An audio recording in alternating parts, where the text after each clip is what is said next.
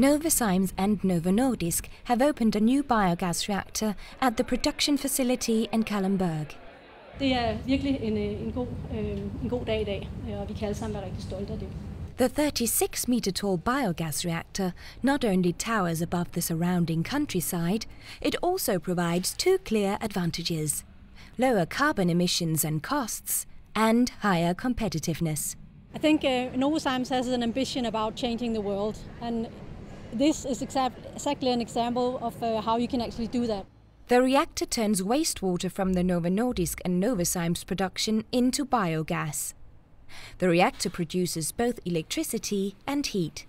The power production from the new reactor equals the power consumption of 12,000 Danish households, and it will help Novozymes to reduce the CO2 emission from the production considerably. With this, we significantly reduce our CO2 emission and we still uh, also make good business out of it. So that is really what our ambition about changing the world is about.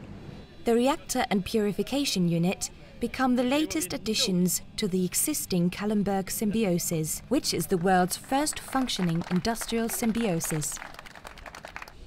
Here, the residual product originating from one enterprise becomes the raw material of another enterprise.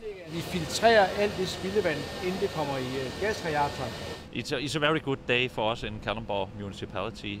The factory here can increase uh, production we have space for new production, and we do a great uh, deal for the environment. So it's a very good day. It has taken approximately a year since we actually stood on this ground and started. Um, so the process has been hectic, um, but actually the employees have done a fantastic job in uh, making this happen so that we can stand here today and open this facility.